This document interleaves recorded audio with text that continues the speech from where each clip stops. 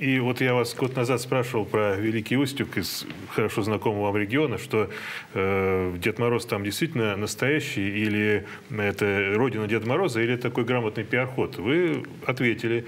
А наши корреспонденты, э, прошу показать видео, в этом году, в ноябре, как раз на день рождения Деда Мороза, съездили в Великий Устюг, убедились, что Дед Мороз там действительно настоящий, вотчина Деда Мороза, почтовое отделение почта Деда Мороза, все там хорошо обустроено и организовано. Но и Новосибирск, новогодняя столица России, съезд Дед Морозов сейчас вот проходит прямо сейчас, каток открывается, будет самый большой.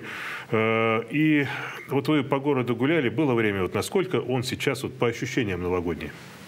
Ну, к сожалению, прям ногами погулять не удалось. Э, декабрь месяц, э, мягко Сложный. скажем, очень непредсказуемый да. с точки зрения командировок. Поэтому все выходные э, в декабре были в разъездах. Но в это воскресенье, с учетом того, что будет официальный старт мероприятия да. «Новогодняя столица», я обязательно найду возможность прогуляться и по набережной, и по центру Э, Новосибирска, проинспектирую парк э, «Арена» и э, оценю украшение города. Я считаю, что это правильно, несмотря на все сложности. Помните, задавался вопрос, а будет ли отмена угу. новогодних мероприятий с, в связи с специальной военной операцией, в связи с, нашими там, приоритетами по помощи Донбассу. И абсолютно взвешенное было решение принято.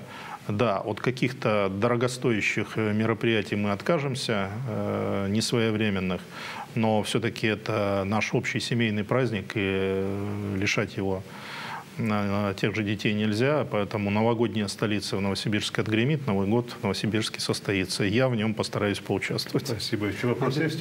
Да, собственно говоря, тот же самое продолжение новогодней темы, наверное, а, чтобы вы пожелали людям вот в предстоящей, предстоящей встрече Нового года? В чем вы, наверное, ваш рецепт поиска новогоднего настроения и ваши пожелания жителям региона на год следующий? А можно прямо вот в эту камеру к людям? Вот. Ну, э, что хочу пожелать. Э, вот э, э, мы в преддверии 22 года, э, в конце 21 все очень дружно пожелали Э, чтобы коронавирус ушел. Э, ну вот общее желание, оно состоялось. Э, хочется пожелать в преддверии 2023 года устойчивого развития нашей стране, нашей России, потому что для всех нас 2022 год стал переломный. Мы отбросили все иллюзии по поводу того, что кто-то хочет, чтобы Россия была сильной э, и самостоятельной, все стало понятно. Э, мы можем только опираться на себя, ну и на наших близких э, друзей, поэтому хочется пожелать, чтобы в 2023 году это вот наше единение, осознание, оно принесло результат, чтобы была победа, и чтобы мы дальше продолжили наше устойчивое, надежное развитие.